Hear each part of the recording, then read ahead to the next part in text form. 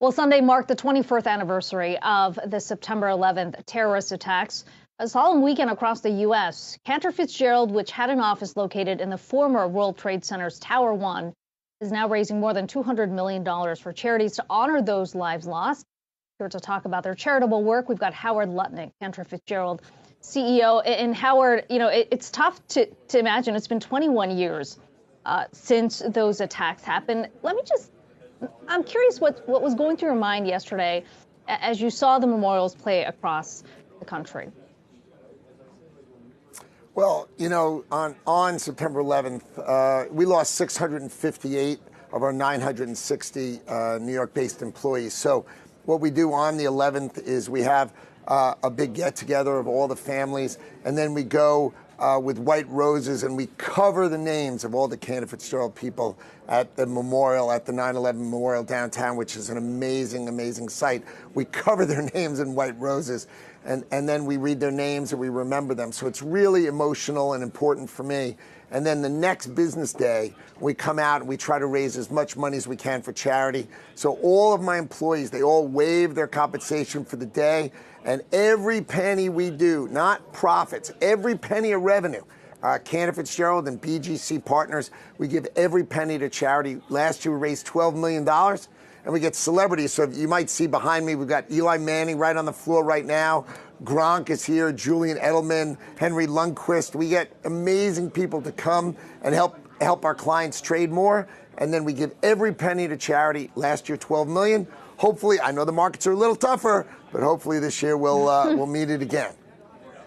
Yeah, I mean, it, it's incredible to see how that specifically has grown. I mean, can you talk about that growth there and, and really the awareness, um, especially when we're talking about so you get, you get this is what happens. See you Eli coming to visit. I mean, he's been doing this. How many years have you been doing this for us? It's like unbelievable. 15 years at least. So it's I, unbelievable. I'm, I'm, I'm, retired now, so you can hire me full time now if you need me. I'm ready. I'm ready. This is great. Yeah, well, Eli, Eli's got a lot of time on his hands. Really love what you're doing, man. Thanks, man. All right. Thank you.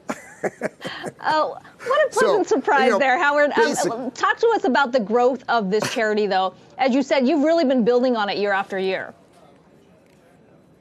Yeah, so what we do, um, you know, we started small. Obviously, we were just in the first five years, we were just taking care of the families of those we lost.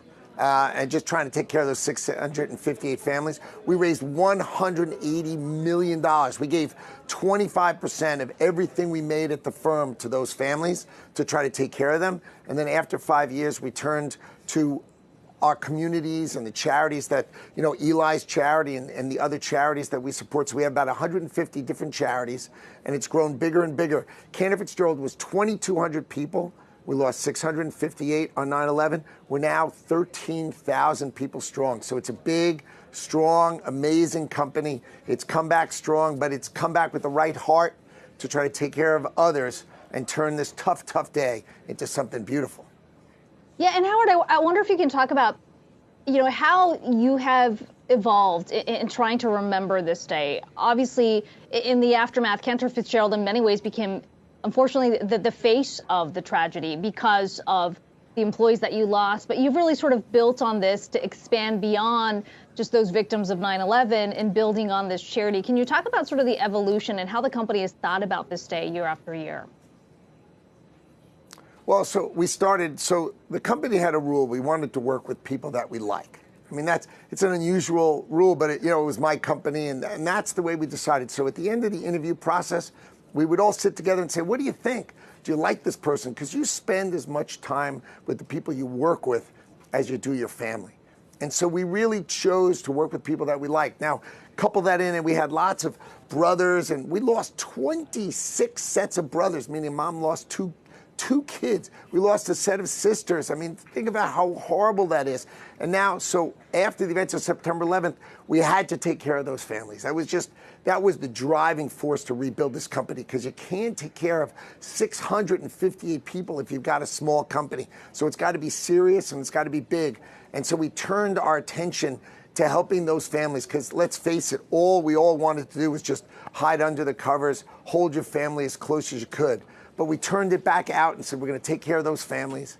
And then we took care of, well, look, we've got to take care of others. We've got to turn our emotions and our and the toughness we've been through into something beautiful. So with all these people behind me, uh, you know, fighting tooth and nail to get there, we've rebuilt this company, but we did it on a foundation of taking care of families, taking care of our community, and we've been everywhere. We've been to Moore, Oklahoma, when they had uh, tornado. We've been to Puerto Rico and Houston when they had um, you know, when they had hurricanes. We did a hurricane, you know, when we had uh, Superstorm Sandy, we, we adopted 19 elementary schools. So the key to our rebuilding this company was on the foundation of something that was beautiful, and it, and it worked out. Uh, you know, we're standing, so we're still standing.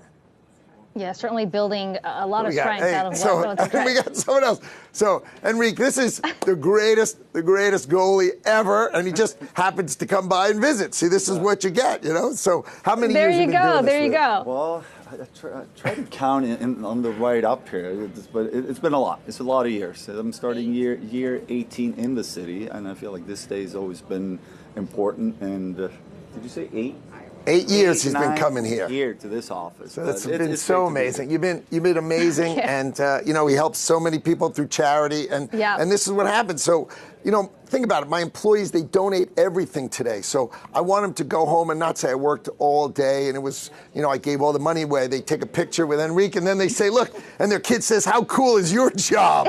You've got the coolest job in the world, and that and that's what makes it special. Yeah. No, I, Unfortunately, we're out of time, but but two surprise Awesome appearances and- and in what one like segment. it, You turned something. Uh, into- it's a appreciate your time today. atmosphere here. Howard Good- good Lutnick, job. Cantor Fitzgerald, Thanks. CEO. Having fun being here. Uh, really great to have you on today and appreciate all the work that you've been doing there. Thanks so much for that. All right.